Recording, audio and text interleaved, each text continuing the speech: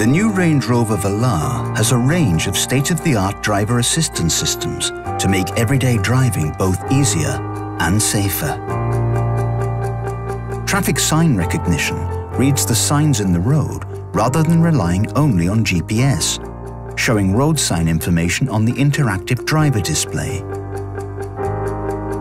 Blind Spot Monitor illuminates a small warning light in the wing mirror to alert you when vehicles are in or approaching your blind spot. Blind Spot Assist applies steering torque to help prevent collisions when changing lanes. Driver Condition Monitor detects when the driver shows signs of drowsiness, giving a warning when you need to take a break.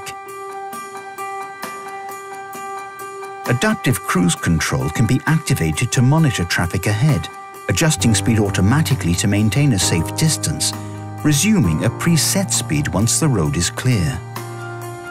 And Queue Assist keeps a suitable distance when queuing in traffic, bringing the vehicle to a halt when necessary.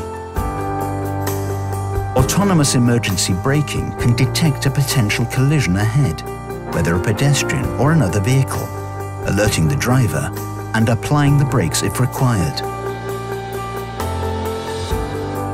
Lane Keep Assist can detect when the vehicle starts to drift and helps to gently steer it back into its lane.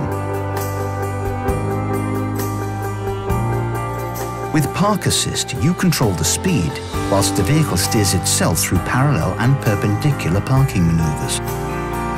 It can also guide you out of a space. The surround camera system provides a 360 degree exterior view via the touchscreen giving you greater confidence when maneuvering your vehicle in confined situations.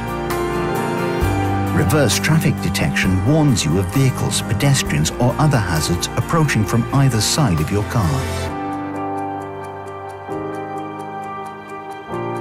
The new Range Rover Velar